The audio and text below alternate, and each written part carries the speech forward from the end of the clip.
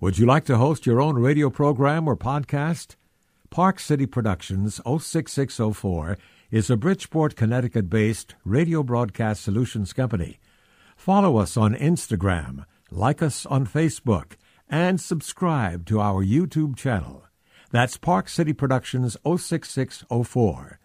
Call us at 203 522 8801.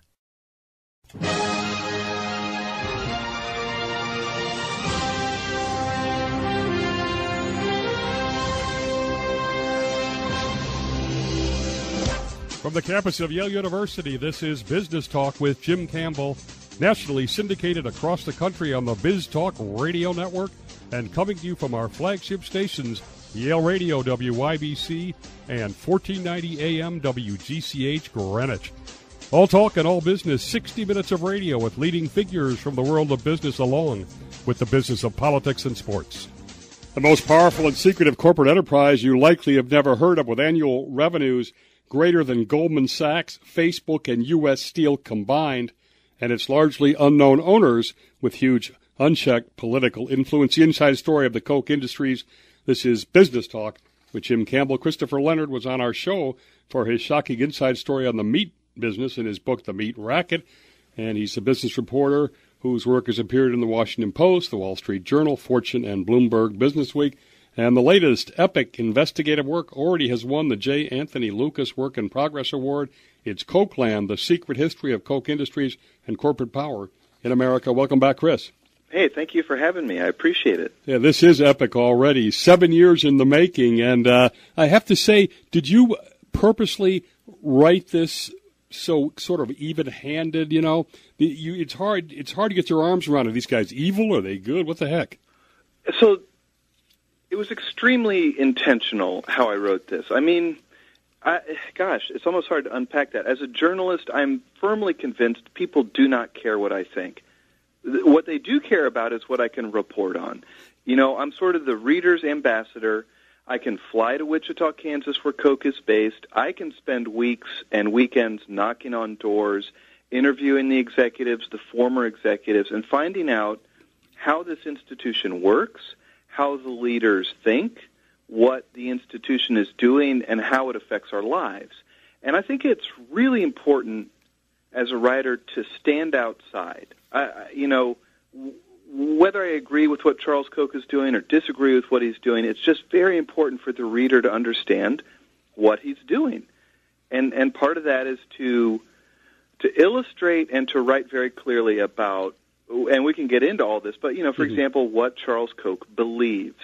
Mm-hmm. You don't need my opinion about what he believes, but let's get accurately on the page what that is. It's interesting um, that that approach is sort of going out of style, which is kind of sad. Now it's pronounced Koch; it's spelled Koch. Tell people what is Koch Industries to begin with. That's right. And you know what? It's funny. They love that nobody can pronounce their name. We'll get a, you know, it's a secretive company for a reason. Koch Industries is a you could call it a giant industrial conglomerate. As you said, the massive uh, revenues every year bigger than Facebook, Goldman Sachs, U.S. Steel combined, and this is a corporation based in Wichita, Kansas, that specializes in the kinds of businesses that we depend on every day, that undergird civilization, but that never carry a brand name on it. Koch refines gasoline. It sells fuel. It operates pipelines. It makes nitrogen fertilizer that's the bedrock of our food system. It makes building materials, insulated wall panels, carpeting, the chemicals in our clothing like lycra, spandex, and nylon that are in baby diapers, shirts, exercise clothes. It makes the chips and the sensors in your phone or in your car. At root, I would say it's a giant private equity firm. Okay, it's privately held. It's basically owned by two people, David and Charles Koch, and they see themselves as investors. They generate billions in cash a year, and they're always looking to expand, to branch out into new industries by buying other companies, and that's why they're so diverse and so large. In fact, that leads me to uh, where I was going to go first, which is they're a private company, which in and of itself is very different. They don't have to adhere to Wall, Wall Street's quarterly stuff. But they're not a private equity firm the way we see them, which is over leveraged companies that are sort of uh, bought, stripped, take out all equity you can and then resell it, right? These guys are real long term guys. They also buy distressed assets, which someone like Buffett would never do. This is patient capital, and you're Yes. you're exactly right. It's not load down with debt, strip, and sell. They buy and hold. Um, you, you know, to back up, it, it's privately held. The firm was uh, based in Wichita, Kansas, from since the 40s, and it was started by a guy named Fred Koch. His son Charles took over, and they have been very intentional to keep it private.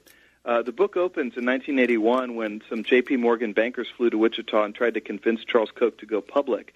He would have gotten a $23 million payday if he'd done it, but he refused because he knew that staying private could let the company, A, plow all its profits back into itself to keep growing, but more importantly, it could keep a long term strategic view. It wouldn't be a slave of quarterly earnings, so it could think long term.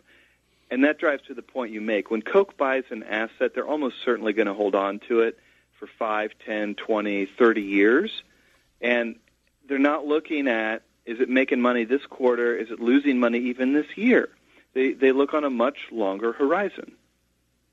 Now, um, that was, in my mind, a, a sort of a good sign, um, a lesser good sign, and we'll do, you know, more of a sort of case study, is that they have the freedom to step on unions and, you know, be kind of shady, stay, stay under the hood, those kinds of things, which don't look quite as uh, good behavior.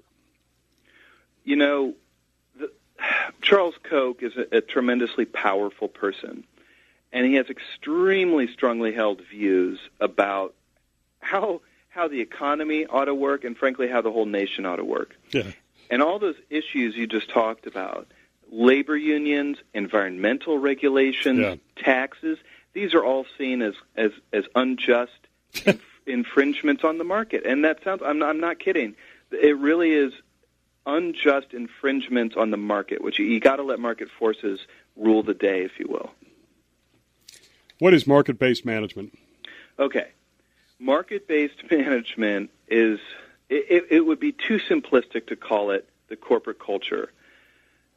Ever since the 80s, Charles Koch has been developing this management theory that he's named market based management. This is the literal operating manual, the code of conduct to be a Koch Industries employee. When you get hired at Koch, you fly to Wichita, you spend three days in a basement auditorium learning this very detailed philosophy called market based management, which has its own vocabulary, its 10 principles.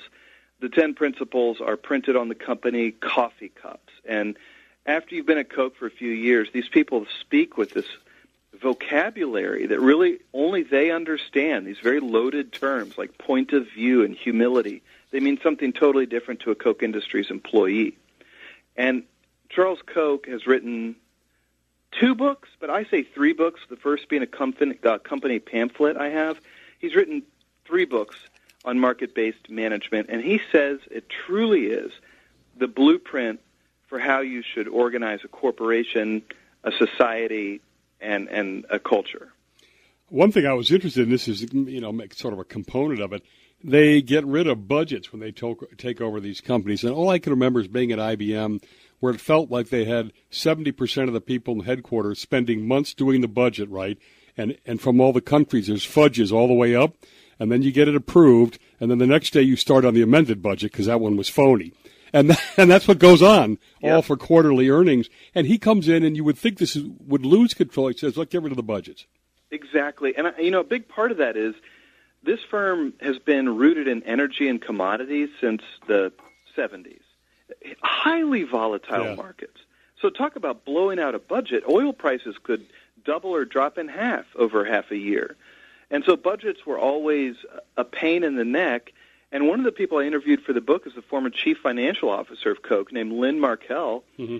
And he recalled this meeting where they were sitting around and talking exactly about what you were talking about, that they just had teams of people investing so much time trying to come up with this budget estimate and then hit the budget estimate. So the tail's wagging the dog. and one of the benefits of being privately held is that uh, an executive named Paul Brooks spoke up and said, "Why don't we just ditch this?" And Charles Koch said, "Yeah, ditch it.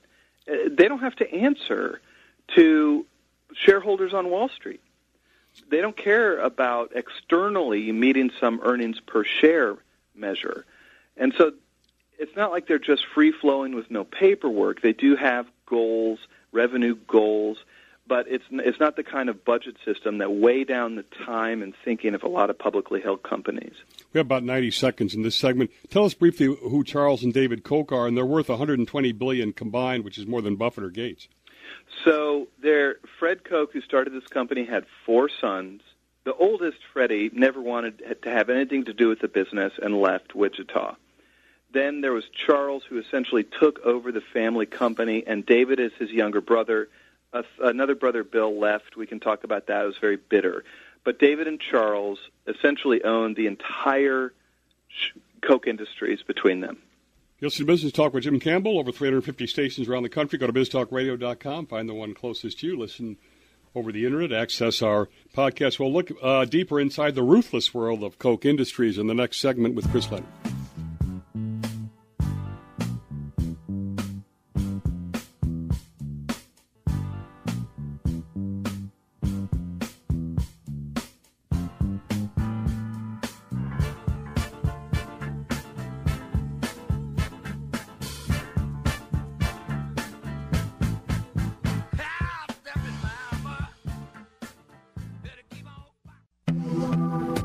Back with business reporter Christopher Leonard.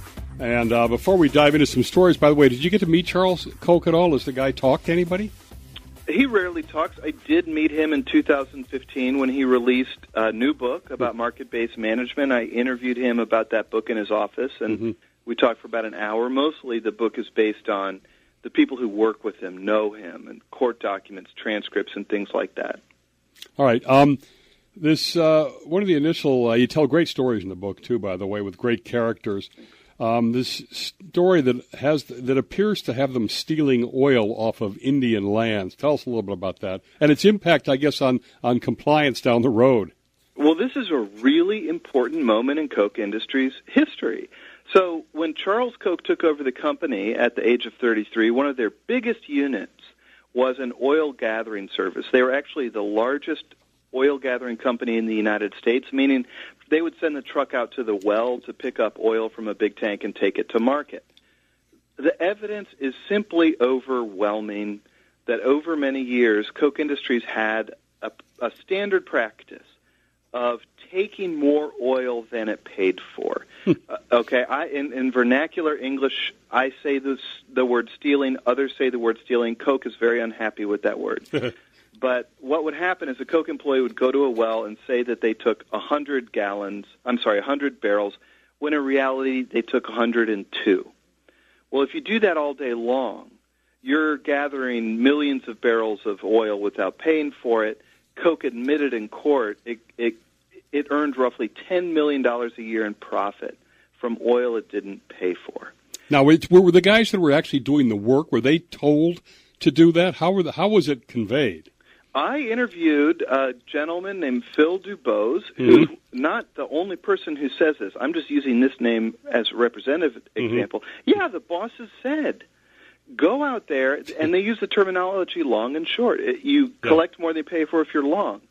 And they said, you got, you got to be long. And they posted uh, the results of how much oil you gathered without paying for it. And if you were short, you would get in trouble. So they were explicitly told to be long, if you will, to gather more than they paid for that is confirmed by court testimony, uh, interviews, and tons of evidence. So, did this once they got caught at this? Did it change? Because there were Senate hearings. Even was um was this behavior changed in their culture over time? Is have they looked always to cut corners? Okay, so this was a pivotal moment in the company's history. In 1989, the Senate investigated it and released a report saying Koch stole oil. It wasn't uh, in any way um, ambiguous. Mm-hmm. Two things happened. The first is that Koch Industries realized we cannot be politically uh, unconnected anymore. You know, Charles Koch, as we've said, libertarian, lived in Wichita, didn't want to have corporate lobbyists, didn't want to be in Washington they realized that structure wasn't going to work anymore. There's the old saying in Washington: if you're not at the table, you're on the menu. Yeah. okay, so this is in 1990. That's when they really start to build out their political influence apparatus, and the book shows how they used it to help quash this investigation into stealing. They didn't clean up their act immediately. Through the 1990s, you see a number of criminal violations, uh, uh, pollution, accidents, uh, that are indicative of a company that is pushing the limits, uh, frankly, crossing the limits. Mm-hmm. It reaches ahead in the late 1990s. We can talk more about that. And, and finally, Charles Koch says, stop. No more. And they do reform the company culture in the year 2000. It is interesting. Um, before we go to the next story, the probably the toughest war they ever felt, interestingly, was against their brother Bill, right? That's right. Um, as we mentioned, uh, you had Charles who ran the company, and he actually had two younger twin brothers. David is a twin with Bill. And, you know, this fight is written about in a tabloidy way of brother versus brother. It got extremely ugly. Bill Koch, I don't think he's he's given it up to this day. Hmm. He he hired detectives to dig through trash. Yeah. He planted negative stories about his brother. But at the at the heart of the fight was a business dispute. Bill Koch wanted to make the company publicly held. He wanted to pay out much richer dividends to the owners. And Charles Koch's view was no, we're going to be private, we're going to think long term, we're going to plow profits back into the company. That's how the dispute started, and it just exploded into litigation that literally lasted 20 years. But on the other side of that, uh, Charles Koch has iron control over this firm, and he has for over 50 years. And quickly, I would like to add, you'll notice I keep talking about Charles, Charles, Charles. Yes. David Koch is, was described to me as a, a silent partner, if you will. He formed a truce with his brother Charles. He didn't try to overthrow him as Bill did, and David got about 50% of the company. But, you know, Charles drives the business. Charles drives the strategy. Charles even drives the political strategy. David is more public facing, lives in New York, has his name on big buildings, but the company's really run by Charles Koch. All right, I want to talk about union busting now a little bit, but from two sides. One, you can tell us the um, Pine Bed. Uh, um, Pine Bend refinery story in Minnesota, and the other is this labor management system, which looks like a great tool for productivity enhancement, but it looks like it sucks labor's uh, their spirit dry. Yeah, gosh, you read the book. Oh, it's a great book. Thank you so much. it is so much nicer to talk about it with someone who's read it. So, labor unions, surprisingly to me, were a critical part of this story. You know, in 1972, uh, right after Charles Koch took over the company, one of the biggest disputes he faced was with what I would call a militant labor union that operated up in the Pine Bend oil refinery. Koch Industries' most important asset, no question about it. It's a super profitable oil refinery. But this labor union, as was common at the time, back in the early 1970s when unions were so powerful, it had all of these seniority rules and workplace safety rules, and the union had pensions, and the pay was really high. And and Charles Koch, when he bought this refinery, sent a Texan named Bernard Paulson up to the refinery, and I interviewed Paulson, and he told me clearly his job was to break the union. And they waged a nine-month battle. The union went on strike because Paulson wouldn't negotiate a contract essentially with them. And uh, it was a very, very bitter dispute, but at the end of the day, Charles Koch and Bernard Paulson broke that union. They tamed it essentially. And, and it was a really interesting story to me because you saw the faults of the labor union. I mean, it was the labor union that resorted to violence and thuggery. The labor union committed industrial sabotage. They literally crashed a freight train into this refinery, could have killed everybody on the inside. Uh, They were doing it to protect their livelihood. I understand that, but you can kind of see why the public lost faith in labor unions at this time. I got about a minute to go on this. I didn't realize they owned Georgia Pacific. That's right. They had a lot of death issues there, though, and safety issues. They did, and if we get to that, fast forward to today, when labor unions are essentially gone and powerless, Yeah. We see the problems that made them uh, get created in the first place. Increasing worker injuries, lower pay, miserable working conditions. That is all present at Koch Industries today. No pensions. No pension. Well, Uh, They pensions full- that are under attack. Yeah, 401k. Business Talk with Jim Campbell from our flagship stations, WYBC and WGCH Greenwich. The trading business and beating up California next.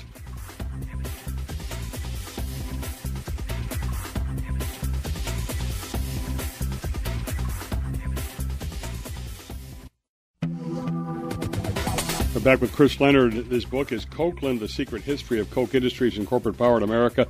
And I was fascinated by um, their, their information strategy, with information asymmetry, they call it, taking all that uh, utilities and um, commodities experience and turning it into trading uh, benefits. But, you know, the California power story, which you might refresh us on, and really, the, Koch Industries was Enron without the exposure. That's exactly right. They were Enron, but Yeah. they didn't want to brag about it. Yeah. And I felt that this story of what happened in California was such a microcosm of what happens uh, in in America.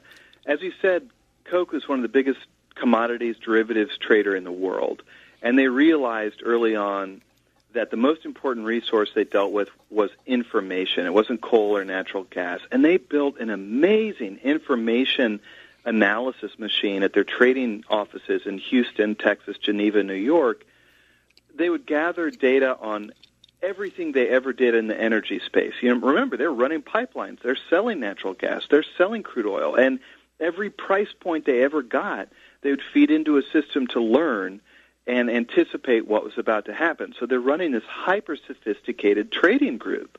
And there was a movement in the 1990s to bring this trading world to electricity production. And this gets right to the heart of one of these huge debates in our country is how should our markets be structured? How should monopolistic businesses like power utilities be structured? We had a lot of fights about this stuff, and we had the New Deal, which created this public utility system. Enron and Koch used their political influence to change that public utility system and create a trading grid.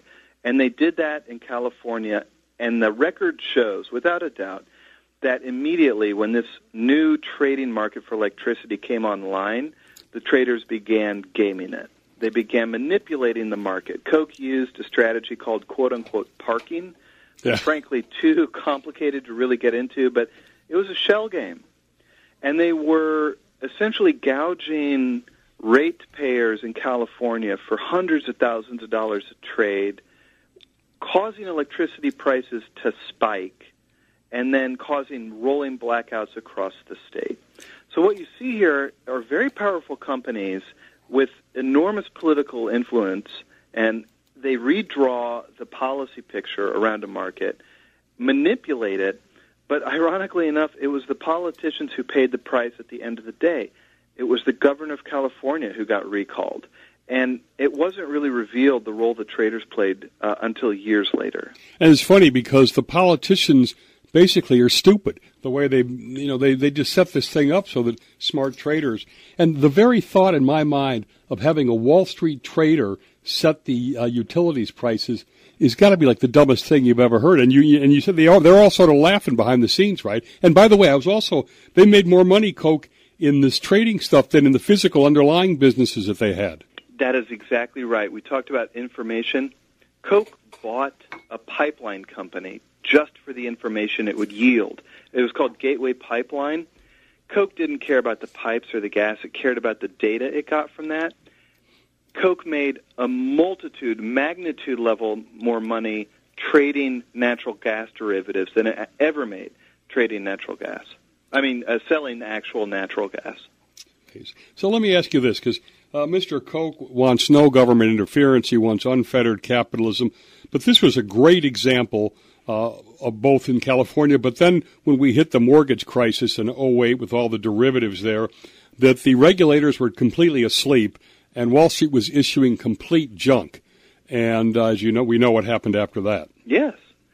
You know, the the politics break down really fast. It's very messy because look, markets are a creation of rules, and that's all they are. And it's just really how the rules are written that matter.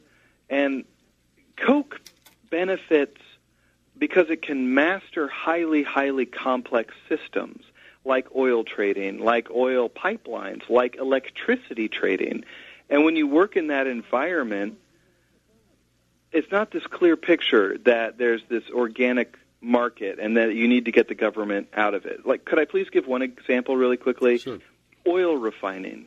You know, that's Koch's bread and butter. The United States hasn't built an oil refinery in, in since 1977. And the reason why is because the sprawling regulatory burden of the Clean Air Act. We all think the Clean Air Act more or less is a good idea, Yeah. but its imposition means there's no new competition. Well, Koch exploits that position in the market Brilliantly. brilliantly. It knows how to manipulate um, clean air rules. It knows how to uh, monitor and handle clean air rules. It can afford the building full of lawyers. And so here it is benefiting from the sprawling complexity of the regulatory state, while at the same time pushing this so-called deregulatory agenda to open up electricity markets in, in California. So how does I mean? They wanted to dismantle the EPA too, and without the EPA, which has a lot of problems, we all know now. Without it, um, every lake in this country would be completely polluted. So does does he really believe unfettered capitalism works Yes, and is fair? yes, yes. Really? And I've read And he's smart. He's smart though too. he is smart. Um, I just tell you, I've read his speeches. I've probably read every issue of the Koch Industries newsletter going back. I think they started publishing it in the 90s, and Mhm. he just talks again and again and again that the problem of pollution in rivers can be solved by a market system and pricing. And and he he sticks to the story it, and and it's easy to complain about the Environmental Protection Agency. It, yes, it is. Nobody likes getting a speeding ticket, but what gets lost in a lot of the debate is the economic gain that comes from uh, having clean air, having clean water, not having to you know process water as much because it doesn't have heavy pollutants or carcinogens in it. The cost for health care, et cetera. Now, you say in the book, um, you know, we have on the one hand this they hold these um, businesses they acquire potentially forever, but that they're driven by a trading mentality. What does that mean? Because they don't turn over their companies fast. Here's what the trading mentality means, Okay. and I, I think it's at the heart of Koch Industries. The key to being a great trader, which is buying and selling stuff, that's all it is, buying and selling. You could be buying and selling a barrel of oil, Mhm. or you could be buying and selling a company like Georgia Pacific.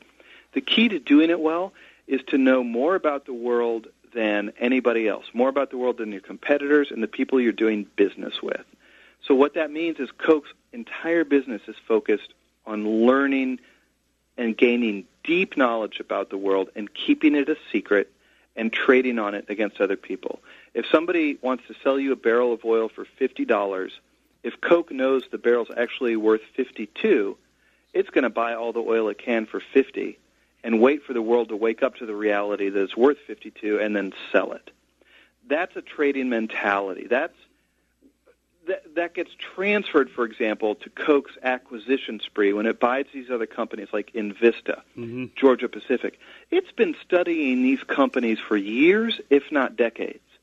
If Koch is selling you something, Koch is learning about you. It's not only measuring the price you're willing to pay, it's learning how you operate your business, it's learning your business cycle, the ups and downs, and it's going to use that to trade. And it's also going to mean they're going to buy when nobody, when people, other people are scared. That's right. You know, to take a quick example, in 2003, a huge agricultural company in Kansas City called Farmland Industries went bust, Mm-hmm. and they had a bunch of nitrogen fertilizer plants that nobody wanted because they were profoundly unprofitable. Koch had been studying those plants for years, and it knew that the natural gas cycle was going to change again. It bought them for pennies on the dollar, and now they are some of the most profitable assets Koch owns. I don't really understand that either. I mean, I, you, you, you, it just churns money out. And then the the big thing was what they just bought it at the right cycle. So, a, a nitrogen fertilizer plant is nothing but a natural gas refinery. You Oh. take in natural gas, you process it, nitrogen fertilizer comes out the other side. Ah, Nitro, uh, natural gas prices got super high, and that's what made the plant so unprofitable. And Koch thought, you know, prices will go back down. Mm-hmm. What Koch did not even anticipate was the fracking revolution, which brought natural gas prices to the basement. I mean, they brought natural gas prices lower ah, than yeah, that's right. Okay. any forecaster ever would have thought. Well, I'll tell you what didn't drop was demand for nitrogen fertilizer Yeah. and crop prices. So your retail price stays high, your input costs plummet through the floor, and that's why I say they are That's a nice formula. Oh, Yeah. we got we got under a minute to go. Why did Purina Mills fail? Bad due diligence. Koch Yeah, yeah. borrowed a lot of money, bought. They would- they seem to go against all their principles you just talked about, which is know the business and don't put debt on it.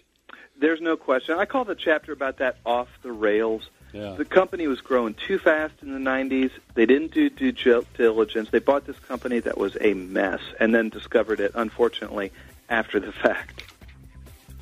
Listen to Business Talk with Jim Campbell. Our final segment, we're going to talk Koch politics.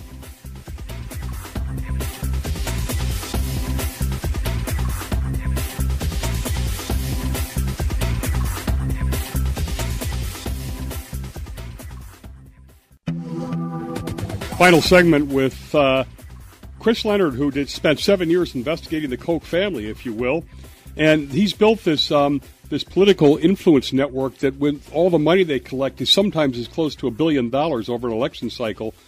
Tell us briefly what Americans for Prosperity is, and I'll tell you what blew me away was Trump, nationalism, trade wars, things that are against unfettered capitalism. They were able to defeat Trump. They defeated Trump. There's no question about it. They turned the Trump tax plan into the Koch tax plan before I think anybody even knew what was happening. Americans for Prosperity is one of the most effective and innovative components of the Koch political machine, which is a multifaceted machine. Koch's political machine includes, you know, a registered lobbying shop, and a bunch of think tanks to help seed the ideas of Washington. Hmm. But Americans for Prosperity is literally a nationwide army of employees and volunteers. It is a boots on the ground force. Here's how Koch will use it. Koch has one of the biggest lobbying shops in the United States.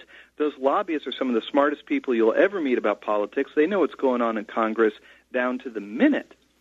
So Koch can arrange busloads of angry voters from West Virginia, North Carolina, Missouri, Ohio to arrive in Washington, D.C. and go exactly to the congressional offices that Koch's lobbyists have told them are the most vulnerable and the most important to visit.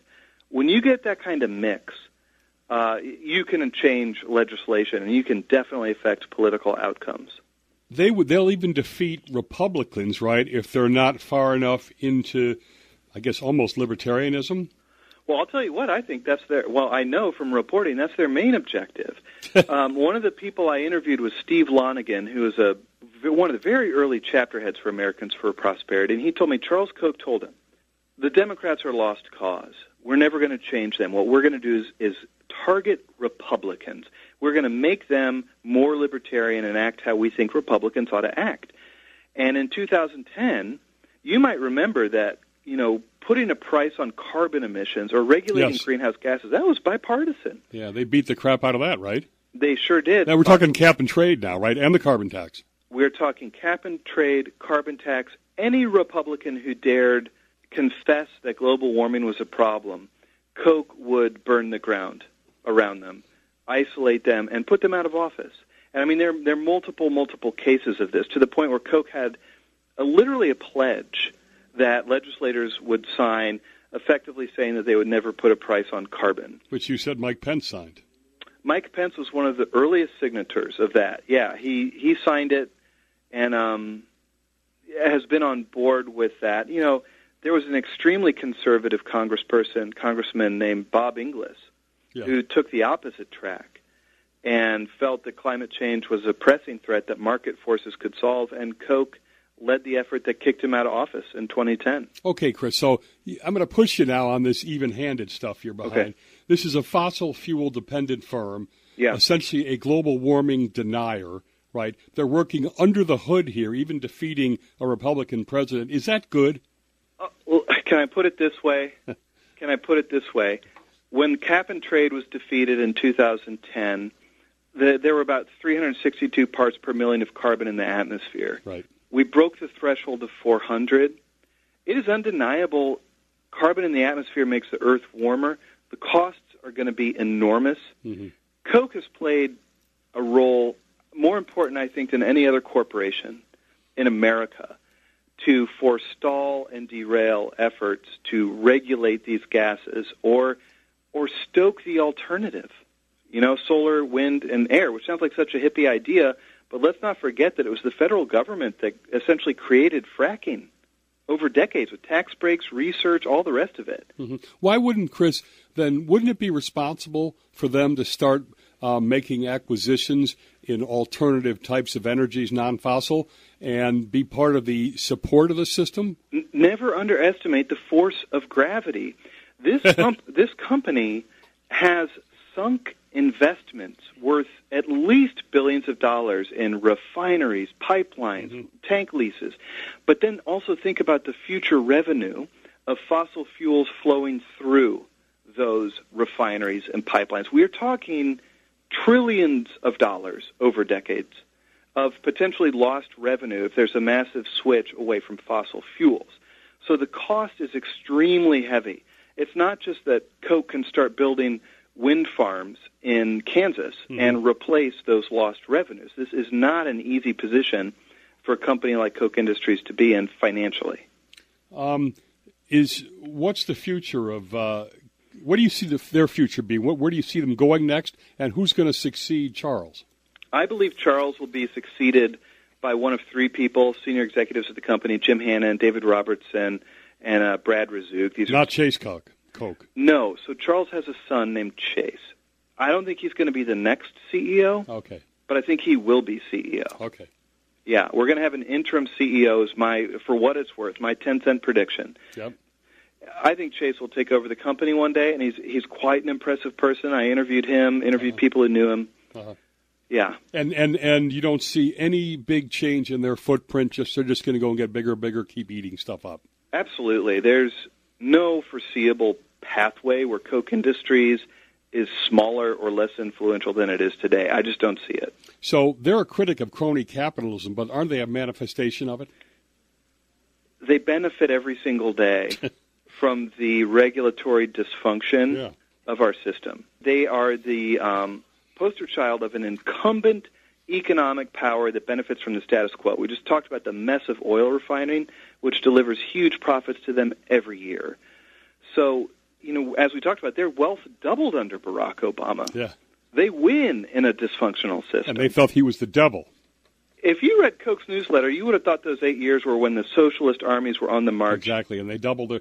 What yeah. I what also blew me away was um, you saying that uh, they have this long-term view, and they can sit and know they're going to outlast Trump. And you know, Trump's attention span is about six minutes and it, it's kind of scary in a sense that you know they're just going to wait him out and then stop all this nationalism, you know, populism, um, trade wars, and stuff over time. I think that that's right. There is, however, anxiety in the Koch network. If Donald Trump wins re-election, yes, he will reshape the Republican Party, and you see this movement in the Republican Party of America First, yep. economic nationalists. Yep. Koch is patient, flexible, and adaptable and they will wait it out. But, but you don't see them coming around to Trump, ism? Never. it's inconceivable. It's literally inconceivable to me. Well, that's a great ending. Uh, the, uh, the book is fascinating, and there's a lot of great stories in it, and they're a scary power in many ways. Thanks to Chris Leonard. That book is Kochland, The Secret History of Koch Industries and Corporate Power in America, the result of seven years of investigation. A great piece of work. It's been a business talk with Jim Campbell. Thanks to Chris Leonard. Thanks to our national audience for listening. See everybody next time on Business Talk with Jim Campbell.